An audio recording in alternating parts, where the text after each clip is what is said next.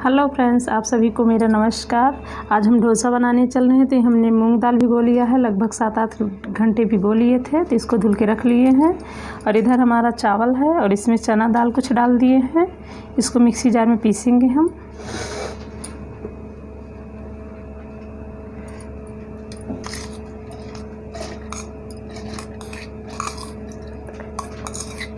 ये हम इसमें दो मिर्ची डाल रहे हैं। और थोड़ा सा अदरक लिया है, इसको डाल दे रहे हैं। पानी डाल दे रहे हैं और अब इसको हम पीस दे रहे हैं। थोड़ा हमको गाढ़ा ही बनाना है अभी। इस तरीके से हम इसको पीस लिए हैं। बहुत बारीक है हमारा और गाढ़ा भी है, ज़्यादा पतला नहीं है। इसमें अब हम आधा छोटा चम्मच मीठा सोडा डाल रहे हैं। आधा छोटा चम्मच हम हल्दी डाल रहे हैं। स्वाद अनुसार नमक डाल रहे हैं।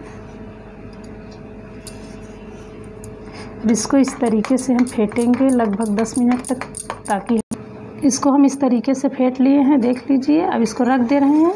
ये हम मसाला तैयार कर लिए हैं। और अब हम तावा रख दिए हैं। गर्म हो रहा है तो चल नहीं बनाने। हम तावा रखे गर्म हो गया है तो इसमें पानी डाल के थोड़ा ठंडा कर लेंगे इसको हम। ऑयल लगा दे रहे हैं। अब इसमें बेटर डाल के हम बनाएँगे।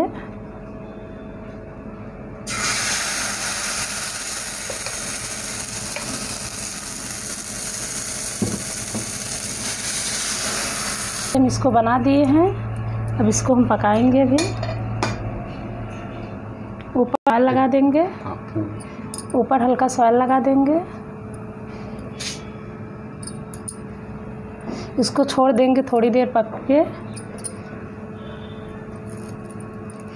हम ऐसे छोड़ देते हैं इसको। ये हमारा हो गया है तो ये धीरे धीरे किनारे से छोड़ने लगा है। ये देखिए। इसको हम इस तरीके से करके निकाल देते हैं। ये निकल गया है। इसको हम हल्का से पलट देते हैं, दोनों तरफ़ सेक लेते हैं। ये देखिए, कितना अच्छा हमारा पक गया है। इस तरह हम दबा के इसको सेक लेते हैं। इसमें हम आलू मसाला बनाए थे, इसको रख लेते हैं। इस तरीके से हम रख लेते हैं।